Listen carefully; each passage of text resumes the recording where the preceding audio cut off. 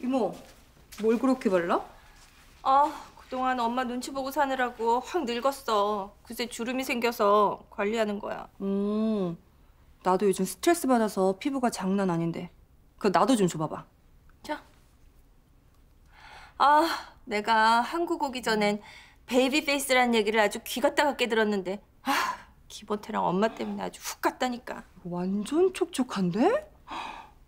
아 맞다. 이모 이모, 오늘 신작가 사무실에서 쓰러져서 내가 응급실까지 따라갔어.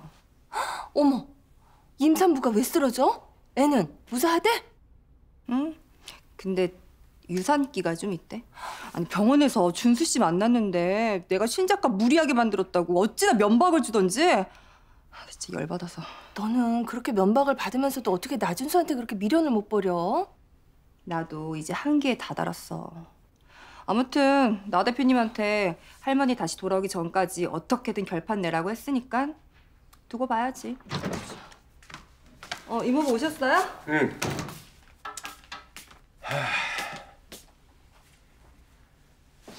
야, 선아나, 네 회사 자리 홍보실 쪽으로 마련하려 그러는데 어때? 뭐 아니면 원하는 부서라도 있어? 아니요. 이모부 저 정말 플러스 마켓 들어갈 생각 없어요. 할머니한테 연락 오면 이모부가 잘 둘러대 주세요. 아, 그러면 내가 곤란해지는데. 나중에 장모님이 하시면은 나 크게 혼날 텐데. 선아니, 네가 얘기 잘해야 된다. 알겠어요.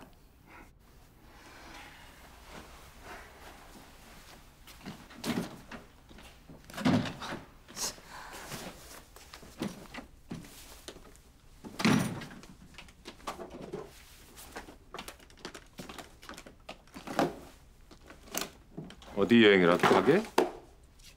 앞으로 엄마가 쓰던 방 내가 쓸 거야. 이제 대놓고 각방을 쓰겠다고? 우리가 지금 한 방 쓸 분위기는 아니잖아. 나 이제 당신하고 죽어도 한 방에 못 있어. 당신 오늘 장모님 공항에 모셔드리고 어디 갔었어? 내가 어딜 가든 당신이 무슨 상관이야? 아주 장모님 가시자마자 한재수하고 롤라장까지 가고 살판 났더만. 당신 또 나한테 사람 붙였어? 아니 한재수 그놈도 뻔히 당신 유부녀가 알면서 그렇게 놀아나서는 안 되지.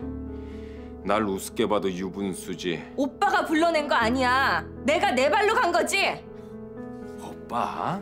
하, 한재수 딸까지 챙기면서 아, 신나셨어. 우리 보라한텐 그렇게 쌀쌀맞게 굴더니 별이 걔는 아직 어린애야. 어디 다 큰 김보라랑 비교를 해? 그래 잘들 놀아봐. 언제까지 그렇게 희낙낙할지 내가 보겠어.